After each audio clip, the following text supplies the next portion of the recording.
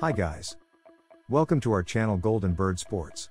In this video, we will preview the head-to-head stats of MLS match between Orlando City versus Atlanta United. So, let's start. First we look at all-time stats of these two sides.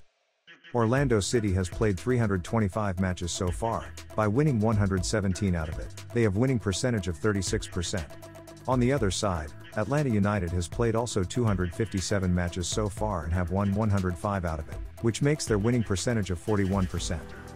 Both sides faced each other 21 times by winning 10 out of it. Orlando City have winning percentage of 48%.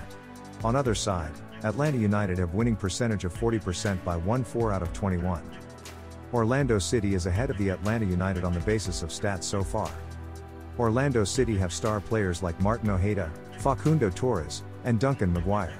On the other side, Yorgos Giakoumakis, Thiago Almada and Brooks Lennon are the star players list of the Atlanta United. If we make a look at current top scorer of both sides, then Orlando City have Facundo Torres, who has scored 18 goals in 38 matches, and have an average of 0.47 goal per match. And Atlanta United have Daniel Rios, who has scored 10 goals in 36 matches with an average of 0.28 goal per match. And at goalkeeper's side, Orlando City have Pedro Gallese, who have 11 clean sheets and conceded 43 goals in 34 matches.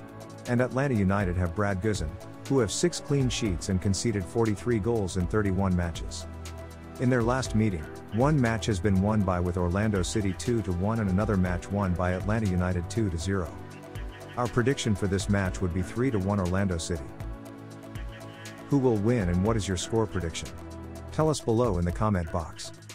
That's it for now. Subscribe our channel and don't forget to hit that notification bell icon so that you can get the latest sports updates and news. Thank you so much for watching. See you in next video.